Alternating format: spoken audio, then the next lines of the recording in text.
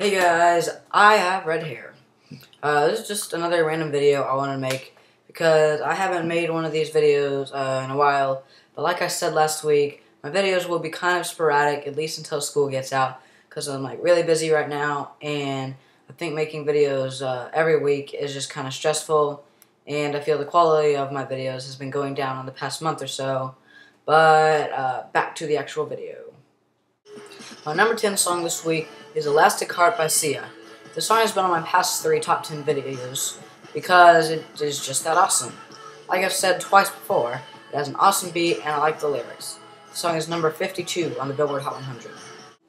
My number 9 song this week is I Want You to Know by Zedd featuring Selena Gomez. I also like the beat of this song, but other than that, I don't really know. This song is number 27 on the Billboard Hot 100. My number 8 song this week is Trap Queen by Fetty Wap. I know a lot of people are just calling this urban crap, but for some weird reason, I actually like this song. I mean, I like most rap music, because it's the music I make, really. And I also think this pretty catchy, because we're 6 on the Billboard Hot 100. My number 7 song this week is Trouble by Iggy Azalea featuring Jennifer Hudson. As I said, I do like most rap, especially Iggy's music, and this is no exception. It's really catchy, and I especially like Jennifer Hudson's song. I mean, she really has quite a voice. The song is number 73 on the Billboard Hot 100. My number 6 song is Hey Mama by David Guetta featuring Nicki Minaj and Afrojack. I tend to like David Guetta's music, and again, this song is no exception. It's really catchy, and I think Nicki's voice goes really well with the track. This song is number 56 on the Billboard Hot 100. My number 5 song is GDFR by Flo Rida featuring Sage the Gemini. The song also has a sick beat, and as I've said, I'm not one to shy away from rap songs, and again, this is no exception. It's number 8 on the Billboard Hot 100 currently. My number 4 song is Goodbye by Who's Fancy. The song is kind of cool because no one really knows who Fancy is. But the song itself is nice and has an actual meaningful lyric, unlike some songs today.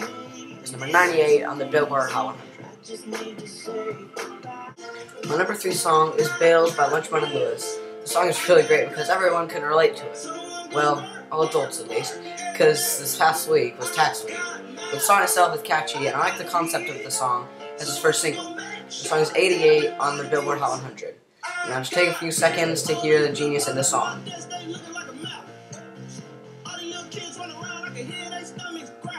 My number two song is When the Beat Drops Out by Marlon Roudette. First of all, I love the overall mood of the song with the steel drum and whatnot, but also like the lyrics. I mean, I think they have some great meaning. Like I said a minute ago, uh, this song is not ranked on the Billboard Hot 100, I don't believe. And finally, my number one song is Worth It by Fifth Harmony. And I love Fifth Harmony.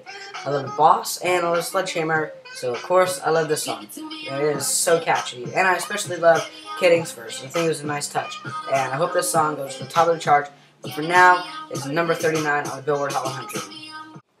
That's all for this week, guys. I hope you enjoyed this three and a half minute video, which took me over a week to make for some reason. And also three different hairstyles. I'll put the link to all the songs in this video down below, as well as the Billboard's website. If you like this video, give it a thumbs up and a comment, and also don't be afraid to click that subscribe button. Peace out.